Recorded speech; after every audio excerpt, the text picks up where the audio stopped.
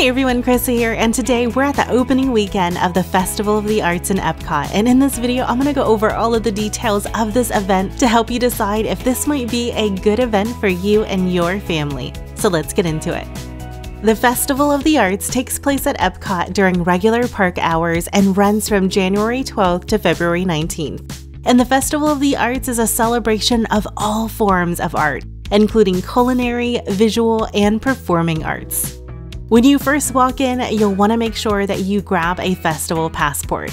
This passport will contain all the information that you need for the festival and all the different activities that are available and a full list of the festival food studios. And it even has some fun activity pages in the back where you can learn about the fascinating art of animation, and the passport even has a short Figment flipbook all throughout the park, there's a ton of fun activities for kids or adults of all ages. On the walkway connecting the World Showcase and a World Celebration is the Expression section. The Expression section is a paint by numbers mural that you'll be able to participate in for free. First, stop by the paint distribution booth to grab your paint. Then you'll get in line to get assigned a section where you can paint a few squares that are corresponding to your paint color. The expression section is open daily from 11 a.m. to 5, and there are several different murals that they alternate in between. When you're done painting, you'll collect a free bookmark with the completed mural on it. Make sure to stop by later in the day to be able to see the full scene revealed. Throughout the park, there are eight walk-in photo frames based on iconic works of art and animation. There are three new frames for this year's festival located on the bridge leading to the World Showcase. The new ones are a Wish storybook, Tea Time with Penguins, and the forest scene from Sleeping Beauty. But there's others that you'll come across as you make your way around the World Showcase. Also on the bridge leading to the World Showcase are the chalk art galleries. You can watch as some talented artists create these awesome works of art. There's even a piece here that plays with some perspective. Over in this other area is a section just for kids where they can grab some chalk and try their hand at creating some art.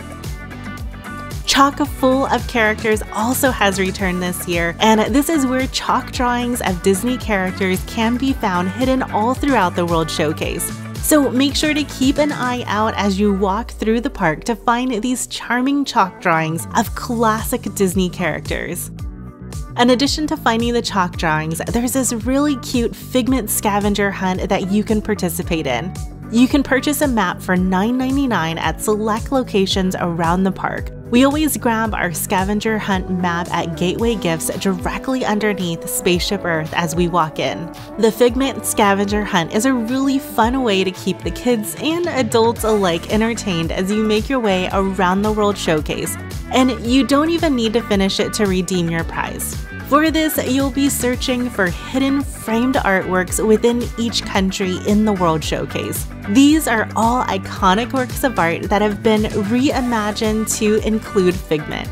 You'll need to explore the entire country pavilion both inside and out to be able to find them.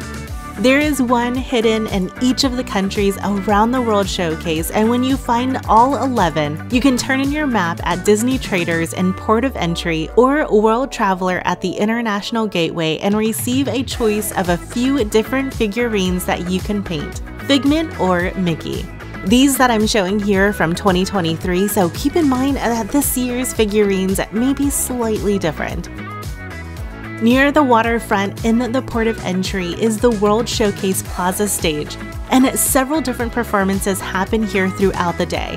The schedule and show times can be found in front of the stage, and the performances include Art Defying Gravity, where you can see thrilling acts of strength, agility, grace, and balance with these amazing acrobats.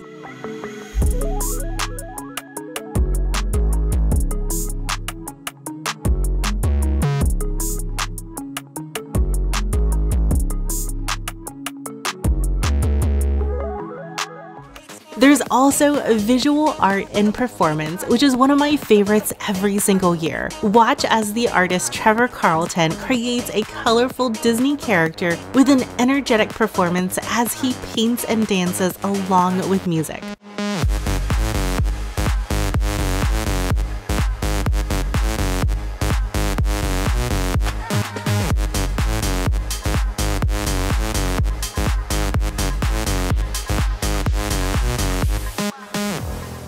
Talented musicians will also take the stage throughout the day as well. During our visit, we got to enjoy the amazing work of guitarist Nicholas Marks, who is a staple of Disney festivals as we see him almost every year.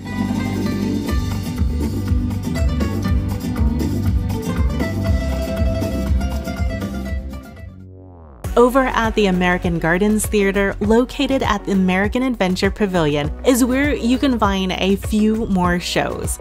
A couple of times during the day is the Animation Academy, where you can learn how to draw a Disney character from a real life Disney animator. When you enter, you'll be given a sheet of paper, pencil, and a clipboard, and the artist will walk you step by step throughout the process.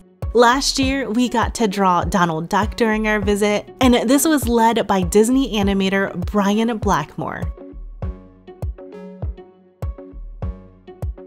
In the evenings, you can catch the Disney on Broadway concert series here in the American Gardens Theater.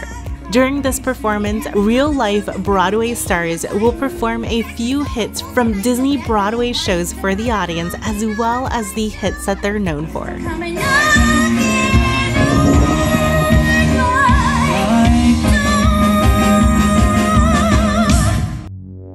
As with all Disney festivals, there's plenty of food booths, or food studios as they call them during the art festival.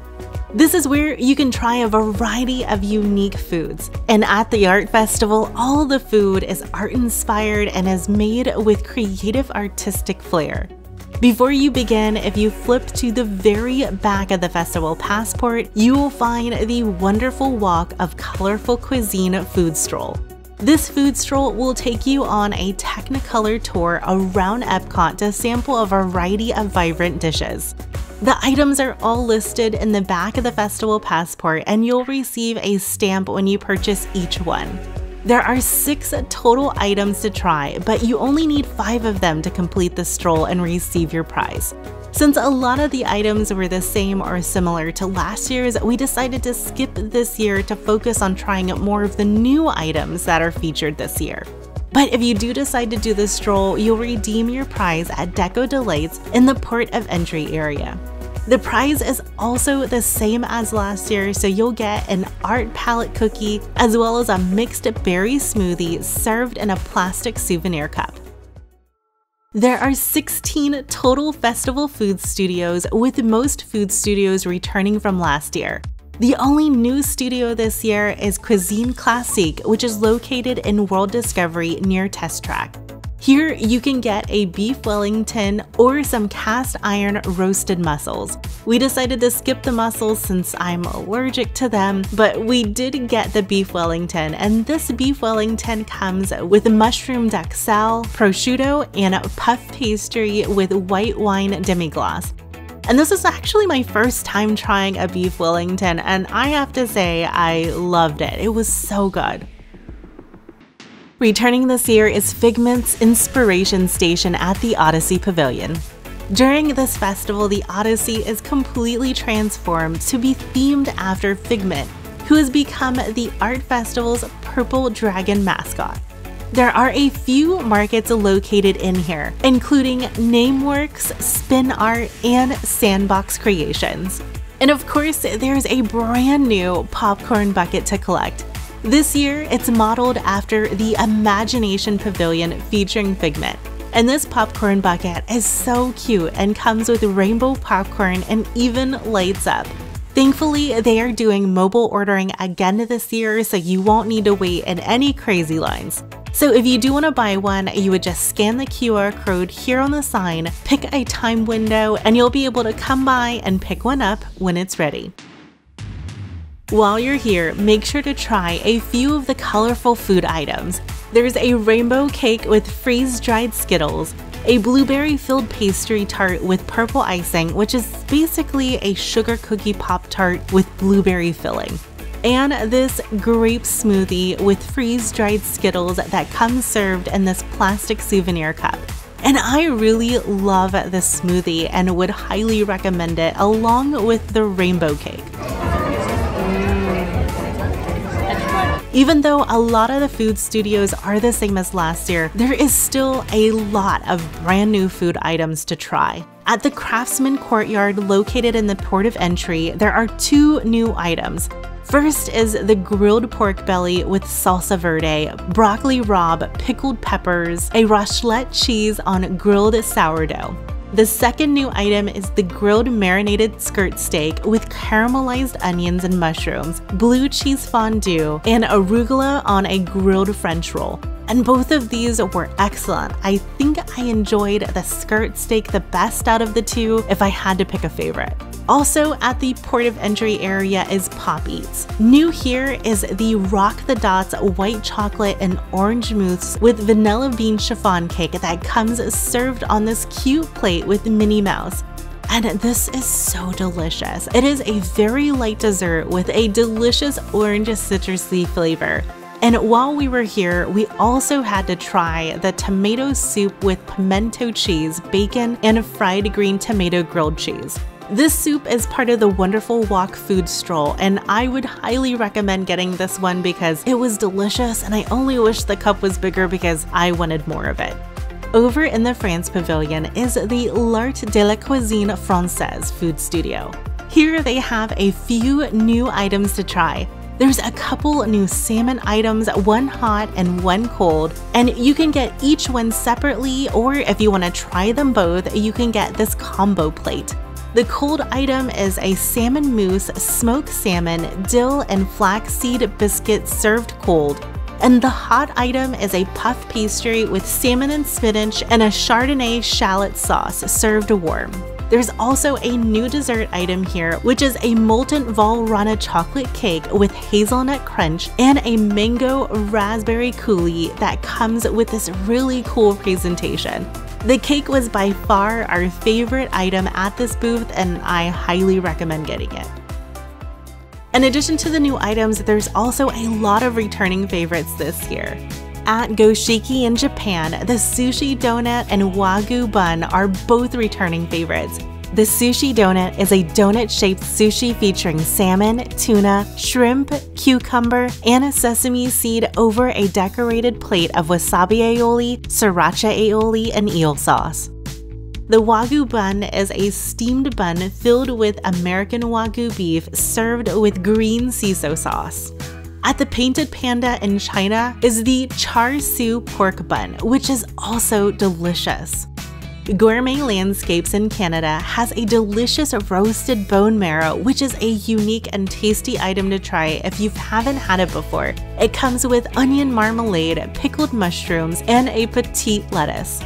Over at the American Pavilion is the Artist Table, where you can get the hummingbird cake. This is a banana and pecan cake dipped in cream cheese icing with a caramel sauce and a warm pineapple compote.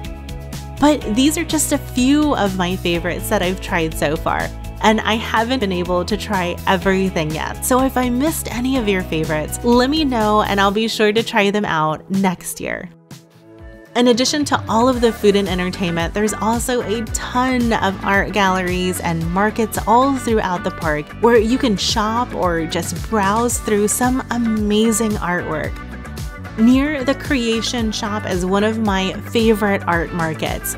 They have a bunch of really cool statues here like Olaf and Steamboat Willie, and some amazing coffee tables themed after Beauty and the Beast, The Seven Dwarves, Peter Pan and Wendy, The Lost Boys, and Captain Hook aboard a pirate ship.